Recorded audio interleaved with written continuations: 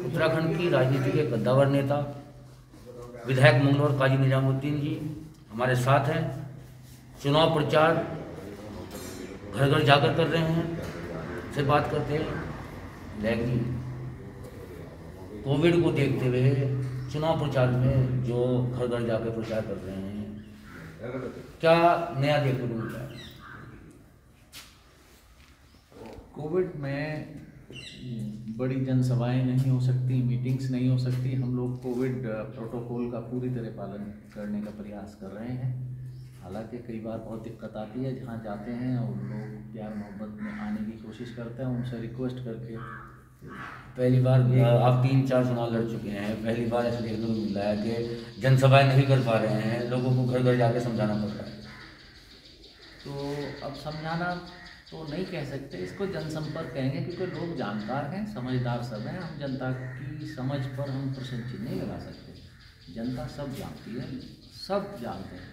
आज की तारीख में सब अपने आप में सक्षम है, सोच रखते हैं। तो ये तो सिर्फ़ हमारा एक घर जाकर निवेदन है कि हमें सहयोग करें, हमारी पार्टी को वोट दें। तो प्रचार माध्यम भी बदल गए तो अब सोशल मीडिया पर काफ़ी इंट्रैक्शन लोगों के साथ हो जाता है। तो लेकिन अब व्यक्तिगत रूप से जब जाते हैं मिलते हैं तो उसमें थोड़ा ये समय ज़्यादा लग रहा है। आपने एक चीज़ गई थी कि जनता चाह रही है भाजपा जा रही है कांग्रेस आ रही है। इस पर अब क्या कहना चाहिए जब मैंने ये बात कही थी उस समय उस वक्त ऐसा लग रहा था कि कांग्रेस की को स्पष्ट बहुमत मिल रहा है। और उस दिन के बाद और आज में एक अंतर आ गया कि उस दिन मैंने कहा था कि स्पष्ट बहुमत मिल रहा है। आज मैं इस बात को कह रहा हूँ कि आज प्रचंड बहुमत की तरफ़ कांग्रेस बढ़ रही है और बहुत भारी तादाद में यहाँ पर कांग्रेस को सीटें मिलेंगी और ऐतिहासिक जीत कांग्रेस पार्टी की उत्तराखंड में होगी। जिस तरह से 2016 में कांग्रेस के नेता बारह विधायक जो हैं, बीजेपी में चले गए थे और उन्होंने चुनी हुई सरकार को गिराने का घृणित काम किया था। क्या कांग्रेस और उत्तराखंड की जनता उसे भुला पाएगी?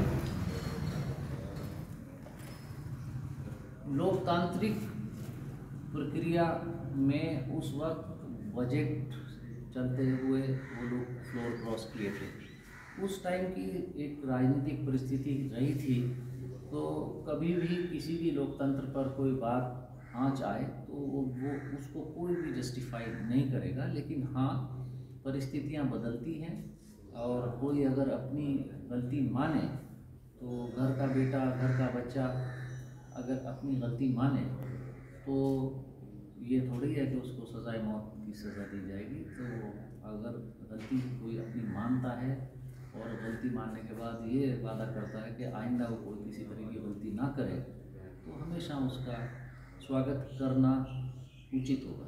एक आवाज़ आ रही है कि अरब सिंह रावत का हाल भी इमरान मसूद जैसा हो गया है। क्या कहेंगे?